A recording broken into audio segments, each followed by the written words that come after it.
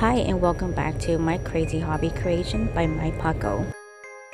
Our theme today is moon. Let's get started. This can be any shapes or size. I'm aiming for that crescent shape so we can start with a circle. I use an electric scissor to cut my circle.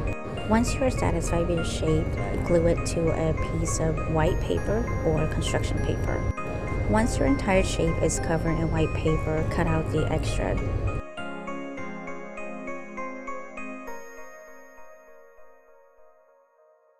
If you've been following my video, I like to use and reuse a lot of my products. In this one, I will reuse a basket that I have as a moon basket.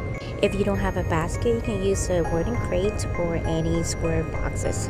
Then decide which side of the basket you want to put your moon. I forgot to poke hole in the cardboard box at the beginning, but you can still poke holes, but just not through the white paper. and tie it to your basket.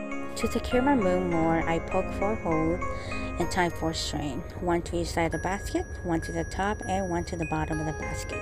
Once you're done, it should look like this.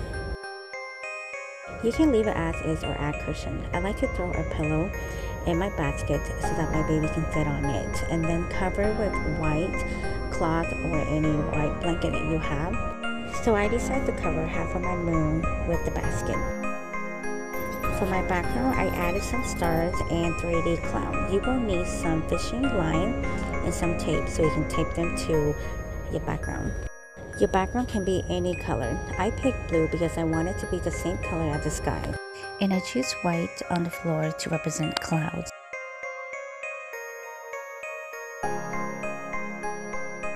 You can leave it as is or add additional cloud. I throw in some pillow stuffing to look like cloud.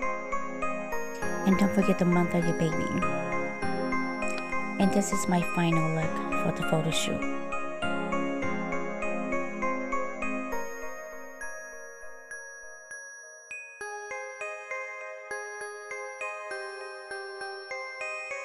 Thank you for watching. Don't forget to subscribe, like, and share for more creations.